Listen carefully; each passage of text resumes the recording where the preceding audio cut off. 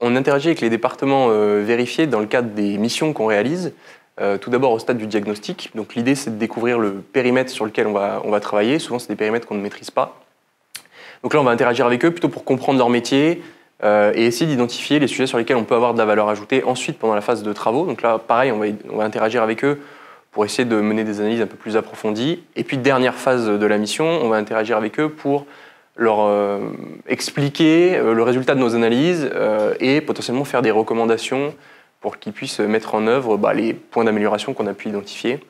Ça, c'est la troisième phase de la mission. Puis il va y avoir une dernière phase durant laquelle on va interagir avec eux, c'est la phase dans laquelle on appelle, nous, le suivi de préconisation. Donc une fois qu'on a émis nos préconisations en fin de mission, on les suit dans le temps pour vérifier qu'elles sont, bien implémentées. Donc voilà, je dirais que c'est les quatre grands moments auxquels on, a, interagit avec avec nos vérifiés.